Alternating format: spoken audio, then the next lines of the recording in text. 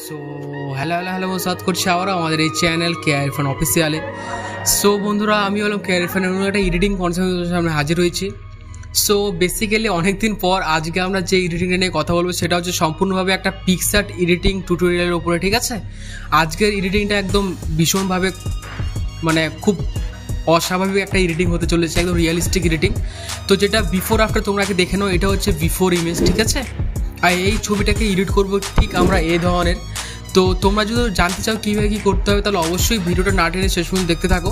আর তাছাড়া যে সব মানে পিএনজি বা যা আমি ব্যাকগ্রাউন্ড ইউজ করব সব কিছুর লিঙ্ক কিন্তু আমার ডিসক্রিপশনে দেওয়া আছে। তোমরা কিন্তু সেখান থেকে গিয়ে অবশ্যই কিন্তু সব কিছু ডাউনলোড করে ইউজ করতে পারো। তাহলে চলো তাহলে বন্ধুরা, দেরি না করে ভিডিওটা তাহলে শুরু করা যাক।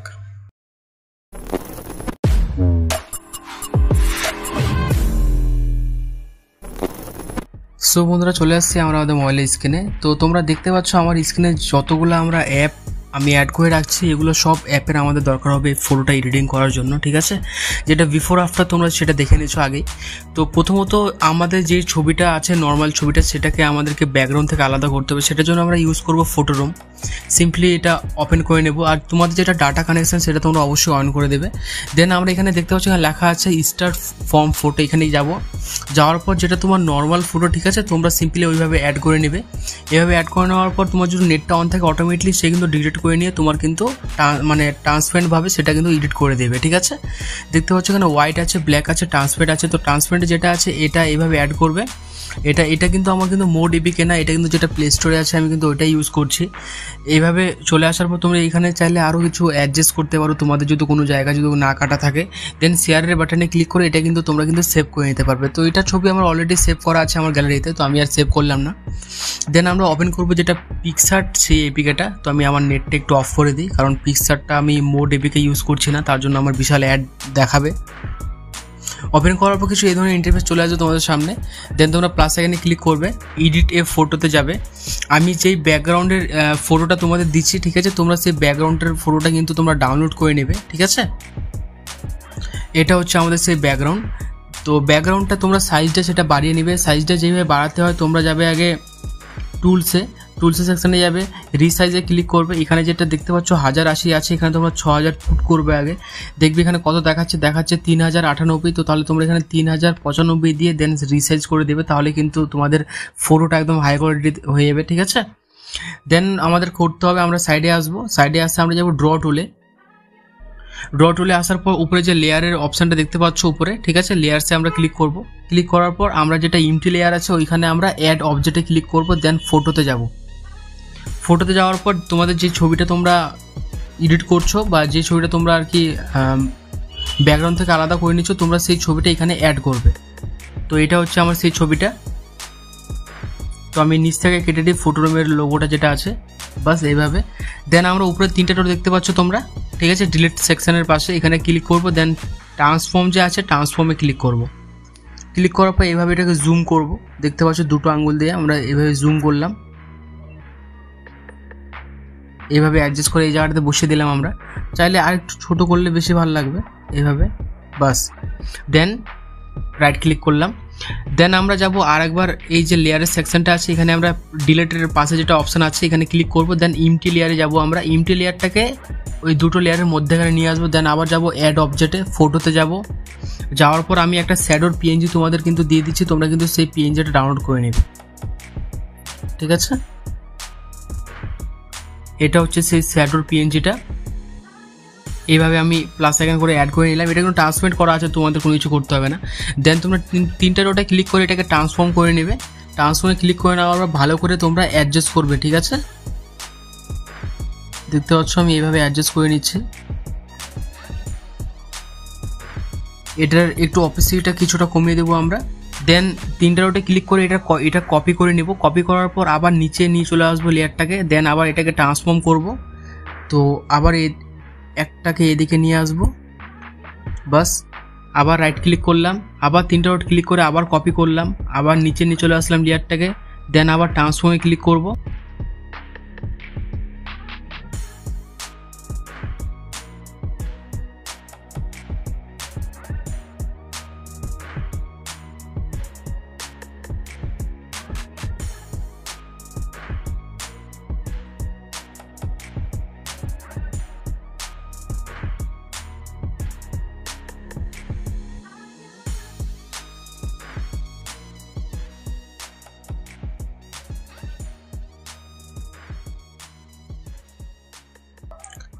দেন বন্ধুরা, যতগুলো লেয়ার আছে, সবগুলোকে আমরা মার্জ করব। মার্জ করার জন্য আমরা উপরে তিনটা ডটে ক্লিক করব দেন মার্জে আছে মার্জে ক্লিক করব।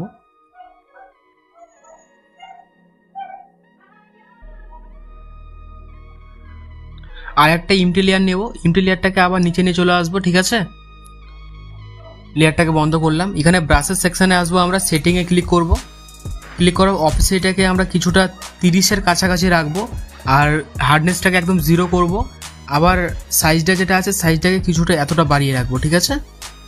দেন আমি ওটা জুম করব। জুম করার পর জাস্ট শুধু এইভাবে একবার দিব। এভাবে দেখতে পাচ্ছ ব্রাশটা কীভাবে চালাচ্ছি আমি।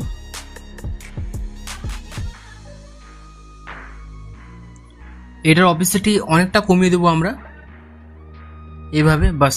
দেন সবগুলো লেয়ারকে একদম মার্চ করে নেব। রাইট ক্লিক করে দিলাম। ডিসকার্ড দেখতে পাচ্ছ, হয়ে গেছে।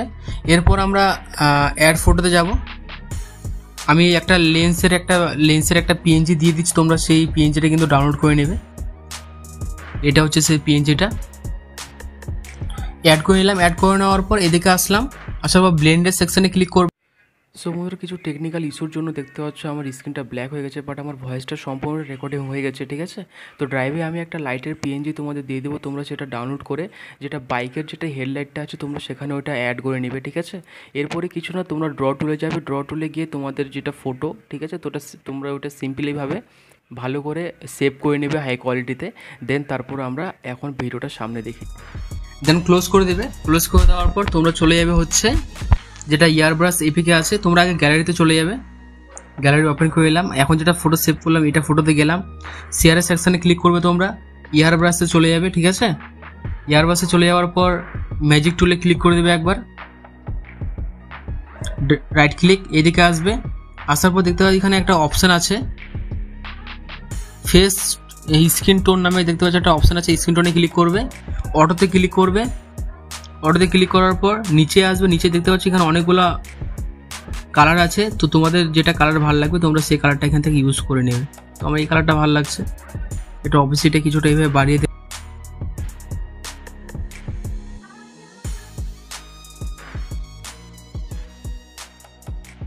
রাইট ক্লিক করে দিলাম।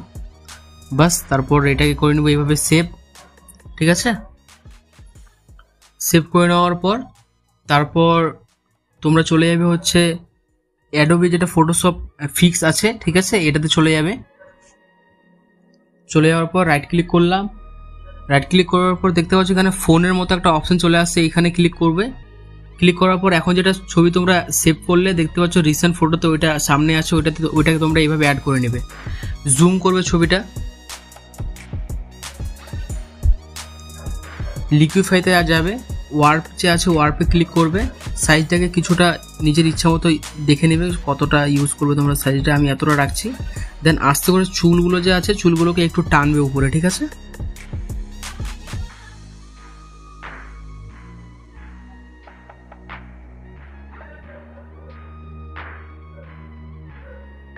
রেড ক্লিক করলাম।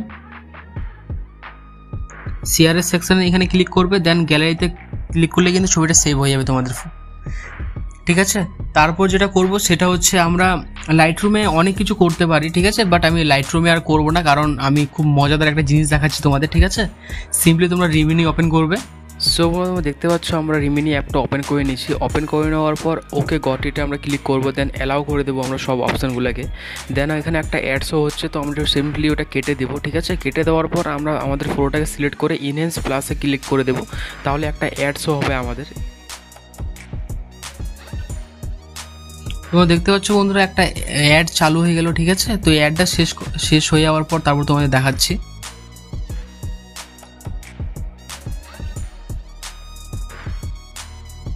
সিম্পলি কেটে দিলাম।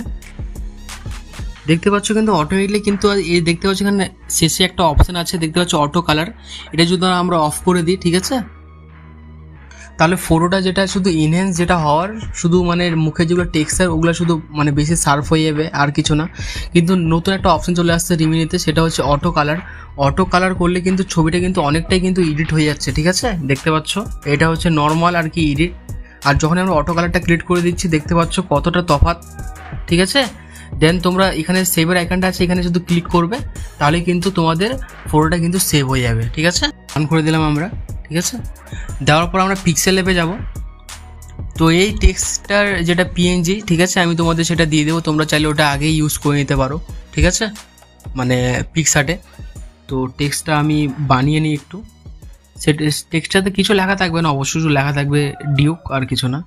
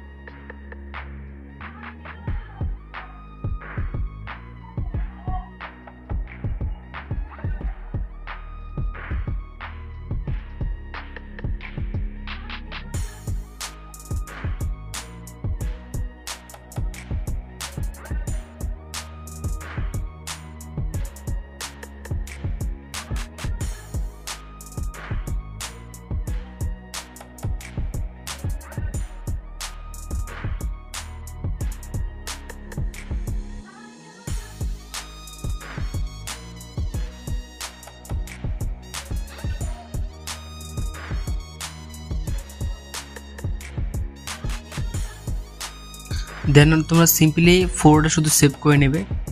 দেন এইভাবে সেভ করে নিলে তোমরা সম্পূর্ণ ছবিটা আলট্রাতে করে দেন এটা পিএনসি ফর্মেটে করে দেবে। তারপর তোমরা সেভ টু গ্যালারিতে করলে কিন্তু অবশ্যই তোমাদের ছবিটা কিন্তু তোমাদের গ্যালারিতে সেভ হয়ে যাবে, ঠিক আছে? সো বন্ধু তোমরা দেখে নিলে কীভাবে কী করলাম আমরা, ঠিক আছে? তো এরপরে তোমাদের যদি কোনো অসুবিধা তোমরা অবশ্যই আমাকে কমেন্টে জানাবে। আমি অবশ্যই তোমাদের কমেন্টে রিপ্লাই দেওয়ার চেষ্টা করব, ঠিক আছে? আর এই ধরনের যদি এডিটিং কনসেপ্টগুলো দেখতে অবশ্যই আমার এই চ্যানেলটিকে সাবস্ক্রাইব করে নেবে। তাহলে আজকের ভিডিওটা এখান থেকে শেষ করা যাক। আর দেখা হচ্ছে খুব তাড়াতাড়ি নতুন একটা ভিডিও কনসেপ্টের সাথে, ঠিক আছে? এডিটিং কনসেপ্টের সাথে। তো bye bye love you all guys peace out